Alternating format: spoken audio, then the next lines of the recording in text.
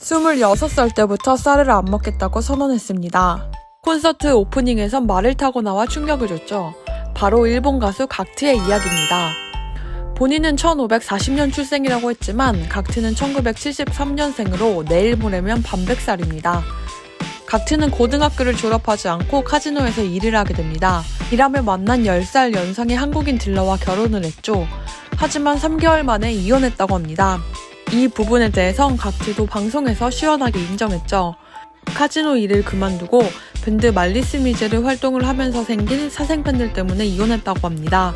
여담인데 부인은 이혼 후 프랑스로 보냈고 재혼할 때까지 각트가 돌봤다는 얘기도 있습니다. 각트가 보컬로 활동했던 당시 일본에선 비주얼 밴드가 크게 인기를 끕니다. 지금으로선 매우 당황스럽지만 90년대엔 세기말 트렌드와 함께 큰 유행을 끌었죠. 이때 비주얼계들은 진짜 컨셉충이라고 할 정도로 신비감을 주기 위해 노력했는데요.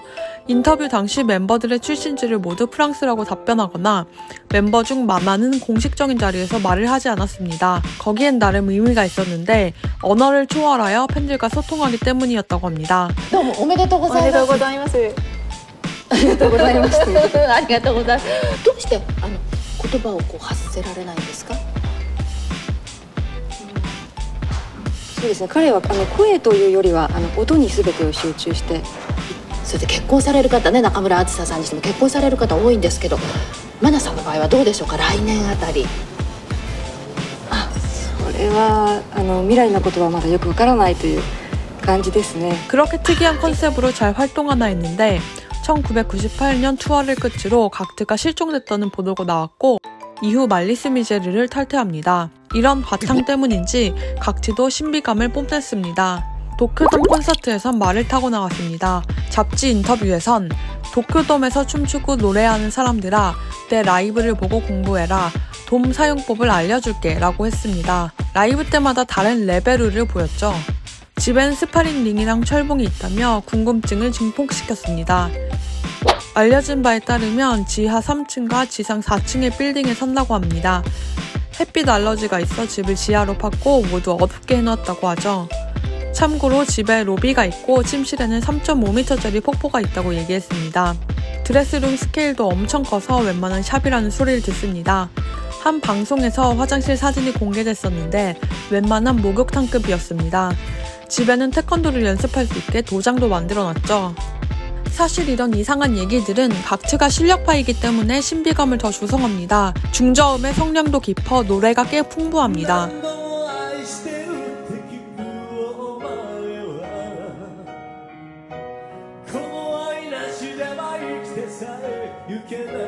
다룰 수 있는 악기가 많은데요. 드럼도 칠 줄 알고 일본의 전통 악기인 샤미센도 연주합니다. 피아노는 어릴 적부터 쳐서 꽤 실력이 출중합니다. 엑스제팬의 요시키가 각트의 연주를 보고 미친 듯이 박수를 쳤다는 일화가 있습니다. 요시키랑 각트랑은 서로 다투기도 하지만 꽤 친하게 지내는 것 같습니다. 둘은 첫 만남에서부터 샴페인 16병을 클리어했다고 합니다. 드럼도 칠 수 있어 가끔 하이도와 함께 연주할 경우에는 하이도가 각트에게 드럼을 잘 맡긴다고 하죠. 도쿄 필하모니랑 같이 공연을 하기도 했고 음악적으로는 꽤 재능이 있는 것 같습니다. 그도 그럴 게 무대에 설 때마다 정말 완벽을 기하기 위해 혼신을 다한다고 합니다. 한 번은 생방송 중에 리허설용 MR을 튼 스태프에게 웃는 얼굴로 똑바로 안 하면 죽여버린다라고 하는 모습을 보였는데요. しっかりしろお前ぶっ飛ぶぞお前本当にしっかり頼むぞ 그만큼 완벽주의자입니다. 네이티브 수준은 아니지만 이런저런 외국어 능력도 뛰어나죠. 전부인이 한국인이어서인지 한국어도 잘합니다. 2009년 도쿄올림픽 주최 회의에 참석해 일본어, 영어, 중국어, 한국어로 연설을 당당하게 해내 최소 4개 국어가 가능하다는 것을 보여줬죠. 트위터에서는 다른 언어를 배우려면 한국어가 제일 간단하다. 문법도 거의 비슷하다라고 올렸습니다.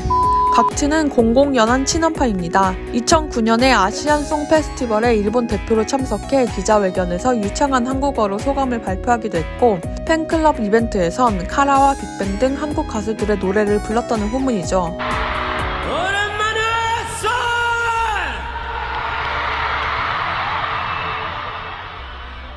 너희들의 목소리를 들려주지 않겠어!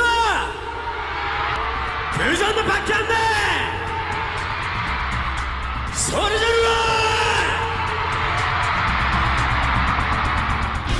김치를 엄청 좋아하는 것으로도 유명합니다. 김치의 매운맛이 좋다고 하네요. 가끔 정부 비판적인 모습도 있어서 최근엔 코로나 방역에 대해 일본 정부에게 따끔한 말을 했습니다. 여러모로 별난 각트이지만 팬사랑은 끔찍한 것으로 유명합니다. 라디오 DJ를 진행 중 한 고등학생이 자신이 다니는 학교가 폐교 위기에 몰려서 힘들다는 사연을 보낸 적이 있습니다. 얘기를 들은 각트는 학교 폐지를 막기 위해 발 벗고 나섰으며 그 결과 폐지가 안 되고 사연을 보낸 학생은 졸업했습니다. 그런데 그 학생이 다시 라디오에 사연을 보내 졸업식에 와서 노래를 불러달라고 부탁을 하죠. 당시 각트는 내한 공연과 미국 일정이 있었지만 최대한 스케줄을 조정해 2시간 짬을 내 학교로 가는데 성공했습니다. 졸업식에 깜짝 등장한 후 사연을 보낸 학생을 불러 일으켜 세운 뒤 약속은 지켰다 라고 말하고 쿨하게 퇴장했죠. 나이가 많은 만큼 스캔들의 역사도 깁니다. 2003년에 일본에서 활동했던 대만의 비비안 수와도 스캔들이 있었습니다. 둘은 도모토 쿄다이에 같이 출연하기도 했었죠. 비비안 수는 각트의 뮤직비디오에도 출연합니다. 이후 요네그라 료코와 잠시 연애했다는 얘기도 있었습니다. 둘이 만나게 된 계기는 CM 촬영인 것으로 알려졌습니다. 각트가 요네그라의 스타일에 첫눈에 반했다는 얘기가 있는데요. 보도는 따로 없고 소문만 있었습니다. 슈가 출신 아유미와도 열애설이 있었습니다. 그런데 교제설이 나고 얼마 안 돼 각트에게 사생아가 있다는 보도가 나왔습니다.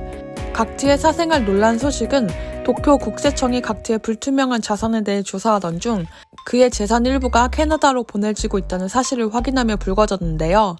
주간 문춘은 이 돈이 전 애인과 4살짜리 사생아에게 간 것으로 보인다라고 보도했죠. 각체 측은 별다른 해명을 하지 않아 논란이 끊이지 않았습니다. 개인의 사생활은 일일이 답변하지 않는다는 이유였습니다. 동일본 대지진의 기금 횡령 의혹과 팬클럽의 운영기금 사용처가 불분명의 의혹이 일기도 했습니다.